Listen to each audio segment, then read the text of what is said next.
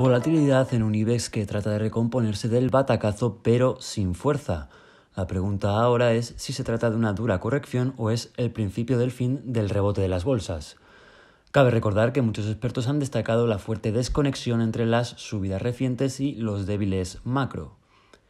Siguiendo en España, este viernes se ha conocido la inflación. El IPC ha caído en mayo hasta el menos 0,9%, una décima menos de lo esperado el selectivo va camino de cerrar una semana que ha ido de más a menos. Empezó con la esperanza de superar los 8.000 puntos y la acaba con el miedo a perder los 7.000.